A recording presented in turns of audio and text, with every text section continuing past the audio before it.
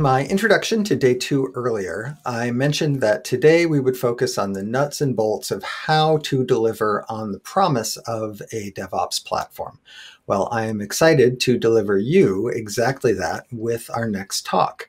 So, one of the benefits of a DevOps platform is simplicity. And in our next session, Amina Mansour from our sponsor, Google, will walk you through the details of how to create CD pipelines in GitLab that can deploy to your Anthos clusters without having to worry about many of the typical authentication and connectivity hurdles you might expect. Let's see how it works.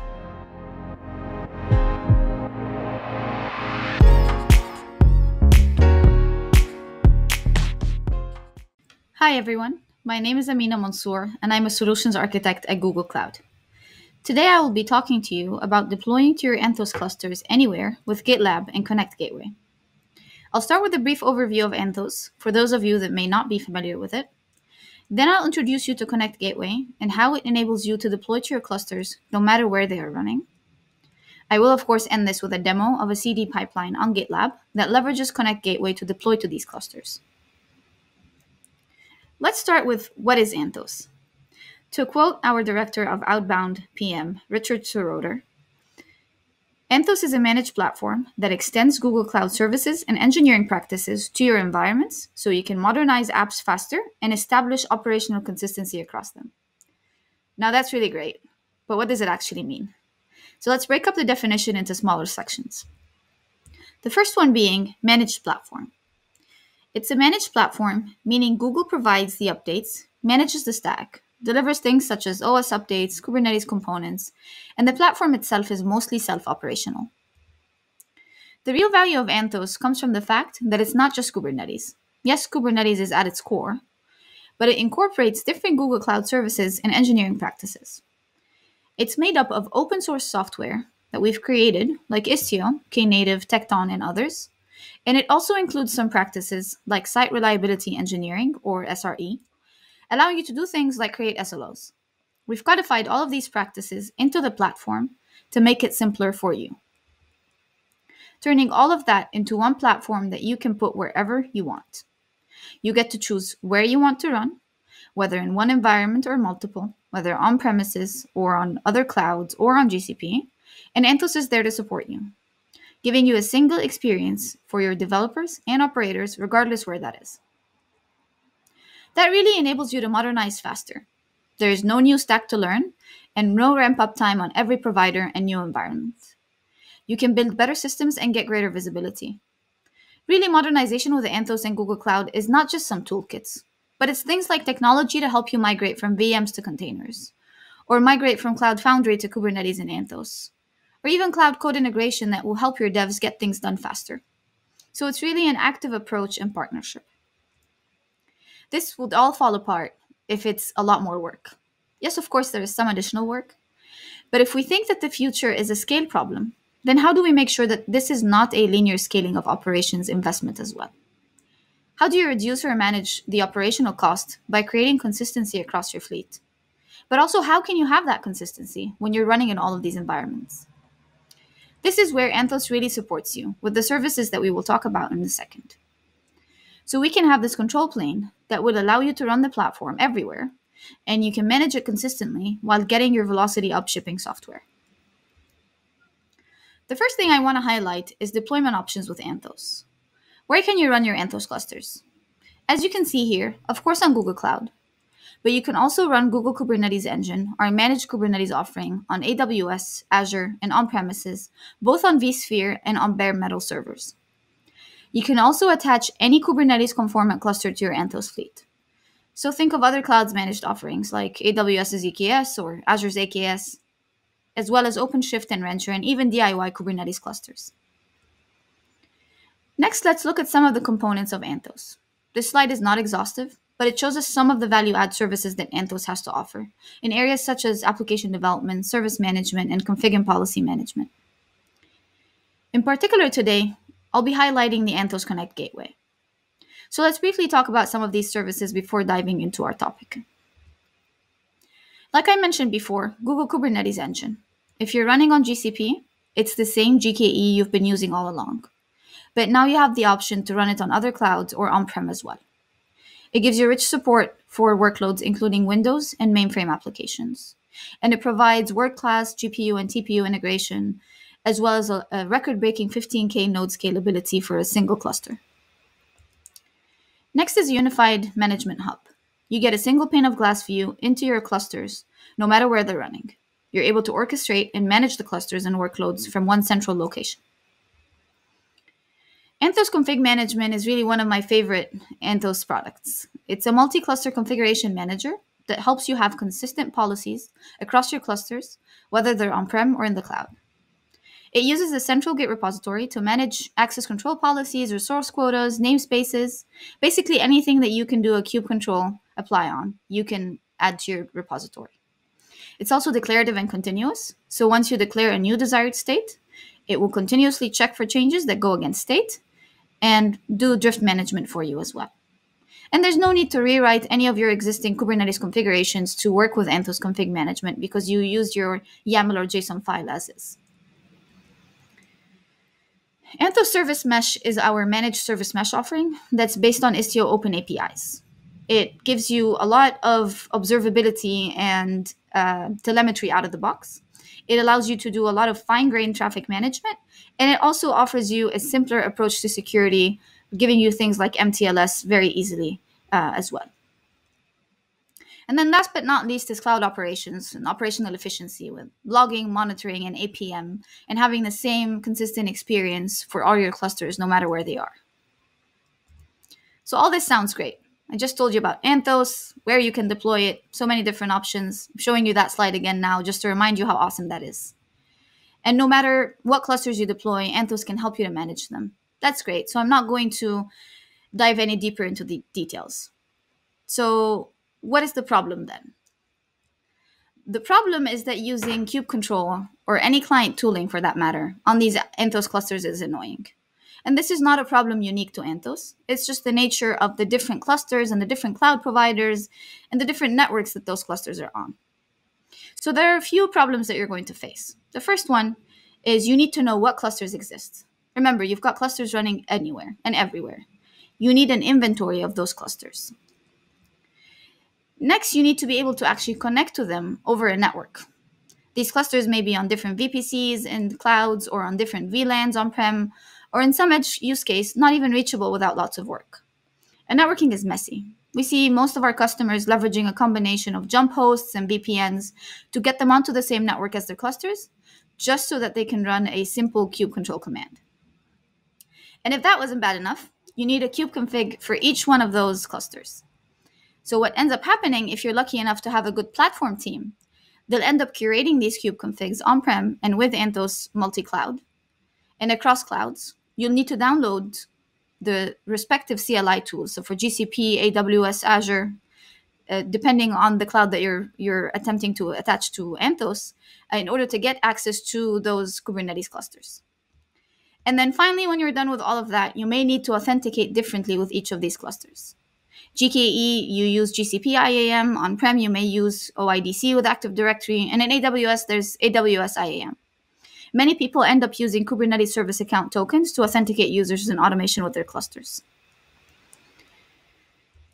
So, this is where the good news come in. And this is where Connect Gateway is here to help. And Connect Gateway is a GCP hosted service that provides a common front door to any Anthos connected Kubernetes cluster. And on this slide, it says it's in preview, but the great news is very, very soon is going to be GA. Connect Gateway's main goal is to make using kube control and other Kubernetes clients like ClientGo with any Anthos connected cluster easy. This means that users and even automation, so your CI CD pipelines as well, can easily access any Anthos cluster running anywhere. It takes care of four things for you. The first one is organizing, because all Anthos clusters are registered and connected to GCP, you can run a simple command to list all your clusters. You can even attach metadata to them so that you can filter the list and see only the cluster that you care about. You no longer have to think about where you are in relation to the cluster from a networking perspective, so it takes care of connectivity as well for you. All you need to do is point your kube control client at GCP and we'll take care of the rest. And we're also reusing the same connection that the cluster makes to GCP that we use for automation and the Cloud Console UI single pane of glass. The other areas it takes care of are authentication and authorization. So remember how each environment had potentially a different way to authenticate? Well, with Connect Gateway, you can just use your GCP IAM identity. We even provide a familiar command to get your credentials. For authori- authorization, there are a few levels of that. But just to note, we do one level of authorization at GCP to validate whether a user can use Connect Gateway. The second layer of authorization is done on the cluster using standard Kubernetes RBAC. And because we're using a common identity with Connect Gateway, you can author authorization policies that apply to any cluster anywhere. And in this case, um, even in our demo, we're using Anthos Config Management to apply those RBAC policies, and that's our recommended approach. So you no longer have to think about organization, connectivity, authentication, or authorization. With that brief introduction to Connect Gateway, let's move over to our uh, demo. And before that, I'll just show you um, what the personas are that we're going to be uh, using in our demos today. So our first persona is Alice, who's an App Service operator. She'd like to deploy something or run a kube control command against the many clusters that are available for her, that are part of the environment she wants to deploy to. And in this case, there, there needs to be a lot of things that need to happen in order for her to have access to that. Whether a kubeconfig file or a CLI tool that's missing, or a whole list of things that we were just talking about that need to be done. And this is where Charlie comes in. He's our admin who will set up Connect Gateway to make it so much simpler for Alice to accomplish the goals that she has. And in this case, all that Alice has to do from that point on is just get credentials for each one of those clusters and run all the kube control commands she wants to run. For our demo today, I'm going to be demoing on an environment that has four clusters in my environment, two that are Google Kubernetes Engine on GCP, and one uh, and two, sorry, that are EKS clusters, so AWS EKS clusters. They are all part of the same environment, all connected, uh, part of the same mesh with Anthos Service Mesh, and all managed uh, through Anthos Config Management. I'll be deploying the online uh, boutique application. If you're familiar, if you've seen any of Google's demos before, we like to the, use this application a lot. Uh, it's a microservices based application, and I'm going to be using GitLab CI to deploy it on top of those four clusters that we just looked at. And with that, let's move to our console. So the first thing I want to show you is the fact that we can see all four, four clusters here. So the two GKE clusters, you can see type is GKE, and the two external clusters, and in this case, they are our EKS clusters. Um, this is a, like I mentioned, the Unified Management Hub. Um, over here, you can see any Anthos cluster that is uh, registered to your uh, fleet, and you're able to see the workloads, services, and ingress. You're able to manage those workloads. You're able to do a lot more than just see them uh, through this interface here. Okay. So the first thing we're going to do in this demo is actually um, take on the persona of Charlie, the admin who's going to set up uh, the gateway. And in this case, um, I have a script that I've created for that uh, so that I don't fumble with copying and pasting throughout the demo. It's interactive though, so we'll get to see what it's doing. The first thing that's going to happen is just setting up some environment variables and enabling some APIs to get us set up. And in this case, uh, you see the project ID and the member email. And the member here is the service account for GitLab that we're going to be using to deploy to the four clusters. Then we're going to add some required roles or permissions to the service account. Like I mentioned, there are two layers of authorization, one at the GCP IAM level, which is what we're doing by adding those roles to the uh, service account. And then the other layer is through RBAC with cluster roles and cluster role bindings on the Kubernetes clusters themselves. Now, instead of going and applying kube control apply on the four clusters that I want to apply the configuration on, uh, I'm going to leverage Anthos config management, which, like I mentioned, uh, there's a Git repo that I commit some configuration and policy to, and then it makes sure to apply it to all the clusters that are registered to it.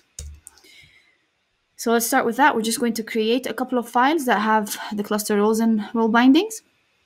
And then what, once that is completed, we're going to commit those files to the config repo. And then we're going to check that um, those configurations got applied correctly. Now, if we go to the config repo, we can check the two files that we just committed, um, admin permission.yaml and impersonate.yaml. And both of these, like I mentioned, have cluster roles and role bindings necessary for setting up the gateway. We can also go to the Anthos config management screen. and see the um, syncing as it's happening. So these three clusters are synced and one is in progress and will be done soon. Now, next we can actually move on to um, GitLab, where now I'm going to take on the persona of Alice, who is a, er, an app or service operator wanting to deploy to those four clusters. So I'm going to run the pipeline because it's going to take a minute or two. And then I'm going to move on to show you the GitLab CI file. So let's do that. In this case, what I want to highlight is that it's a very simple step from then on. It's so easy now for Alice to do her job uh, that Charlie already did the setup for her. Um, all of the above is just some setup for uh, credentials and authenticating with gCloud, and then a couple of steps for uh, cloud operations that are not um, relevant to this demo. But in this case, I want to highlight this one of these steps here. And you see that it's repeated four times for the four clusters. Uh, but basically it's just one command to authenticate and get the credentials. So essentially create a kubeconfig entry for the cluster. And then the next command is a very simple kube control apply of the manifest that i want to apply to the cluster. So let's go back to our pipeline and take a look. I see it's uh, taking a minute to start but it should be going in no time now. Let's just give it a second.